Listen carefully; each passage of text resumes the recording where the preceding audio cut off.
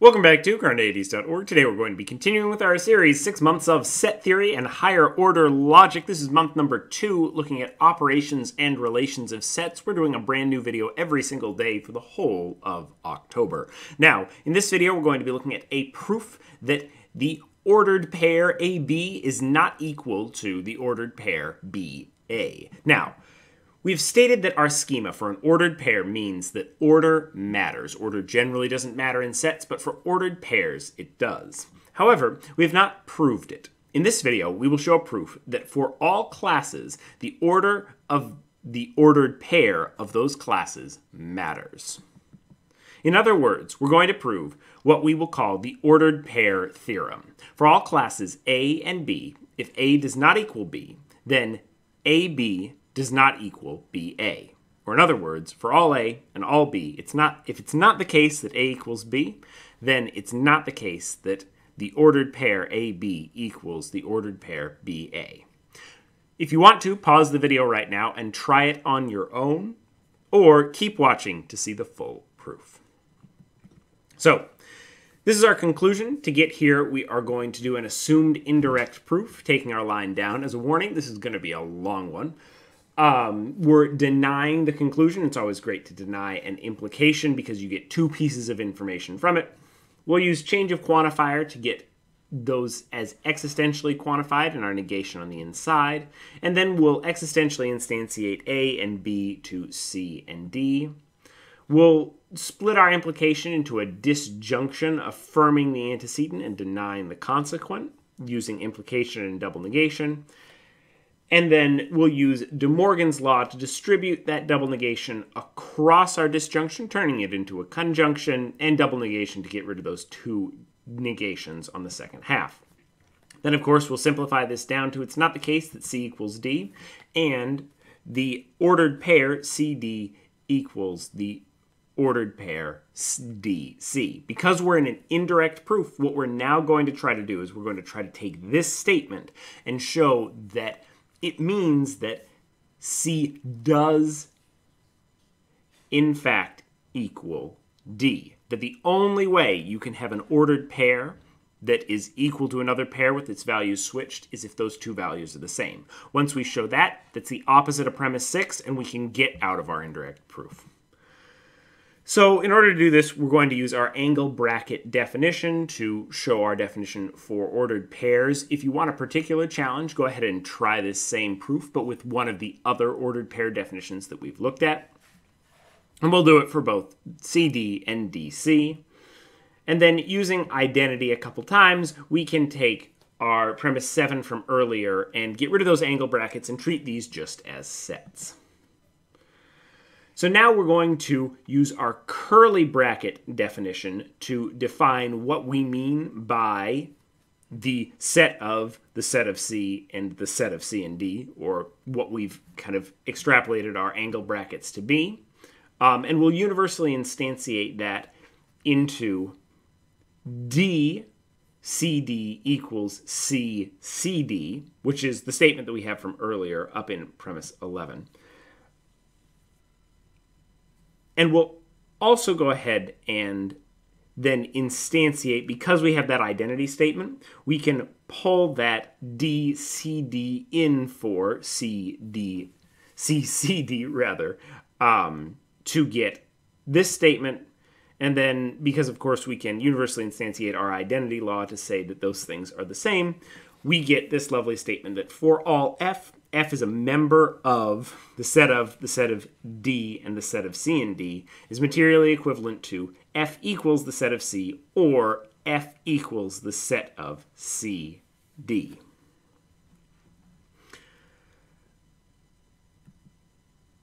Next up, we're going to use our curly bracket definition again to instantiate for the actual identity of DCD and DCD, and then use the earlier premise that we have and identity to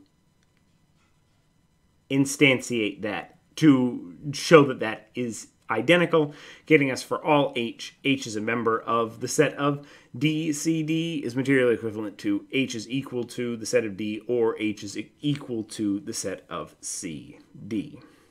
Now you should notice the problem here. Basically, we have both F and H are supposed to be members of the same set, but F can possibly be equal to some things that H can't, um, which is problematic unless C and D are equal. But if C and D are equal, we have a contradiction with premise 6 earlier.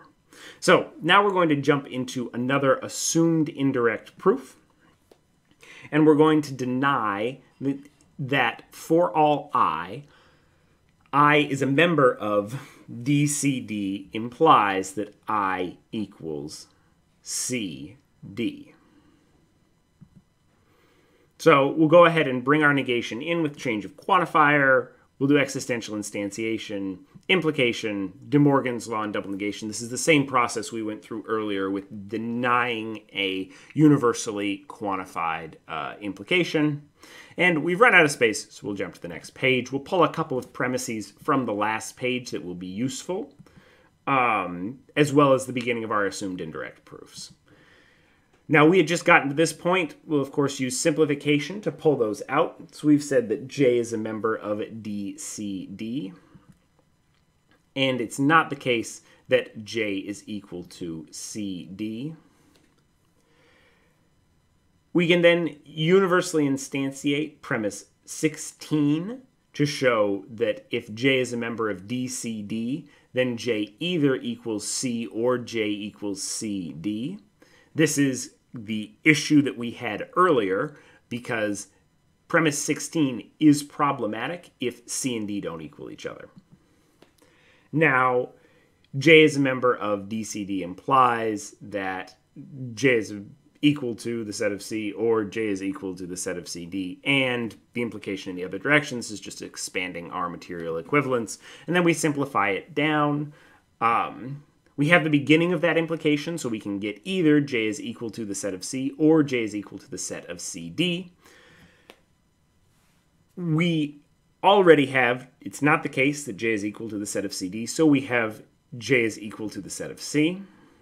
But now we can universally instantiate 18, and because we have still, it's not the case that j is equal to cd, we can show that once again, through the exact same series of steps, j must be equal to the set of c.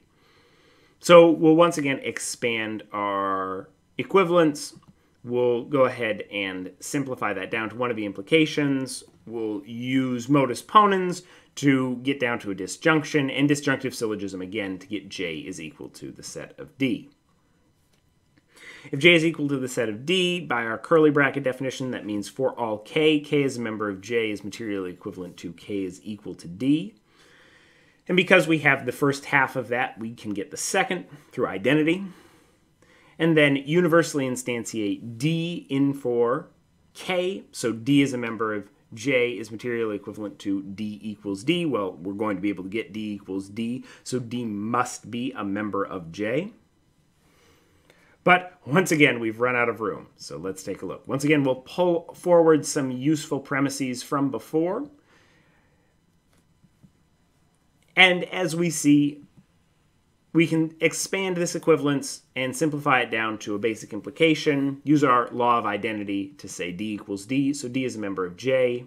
We're going to do the same thing now for J is equal to the set of C. For all K, again, we instantiate K to D now because we already have going the other direction that D is a member of J. And so when we do this implication, we simplify it down to the other side of D is a member of J implies that D equals C. D equals C by modus ponens, and therefore C equals D by the law of identity.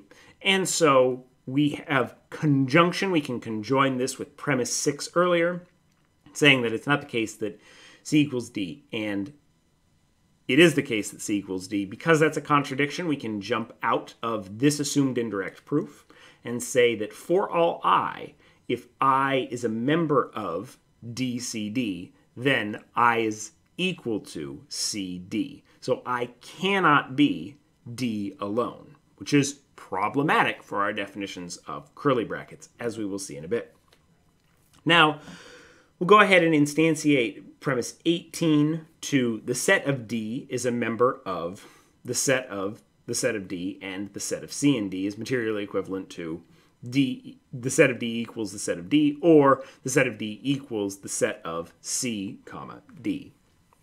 As you can see, clearly the set of D equals D and clearly the set of D is a member of the set of the set of D and the set of C and D. And so we're going to be able to pull out some interesting problems here related to the premise we just looked at.